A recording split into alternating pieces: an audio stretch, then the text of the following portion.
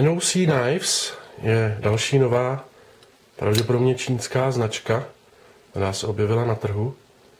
Mě od nich zaujal tenhle ten Chef Framelock. Je jasný, že to je další zavírací kuchyňák. Konkurence třeba pro model Spider Chef od Spiderka. Je dobře řešený, má tu širokou čepel, žádný kolíček,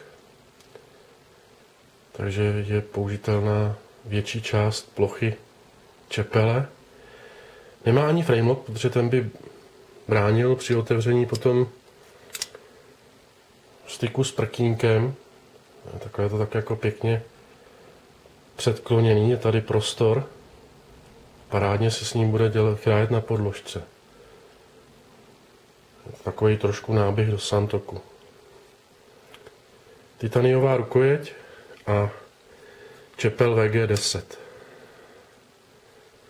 Oni dělají spoustu dalších luxusnějších modelů. Používají většinou ocel M390.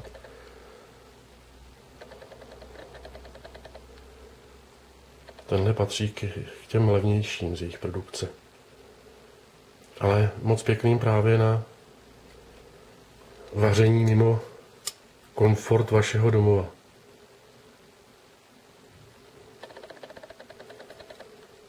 Je tam tvrdší pojistka proti otevření, že já si pomáhám takhle dvouma prstama, ale ono to půjde pak i jedním palcem.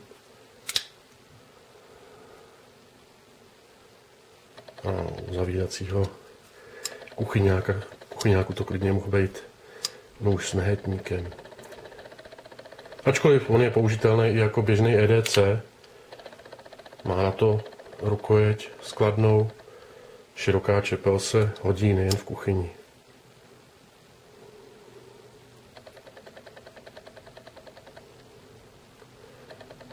Krásný kousek, praktický.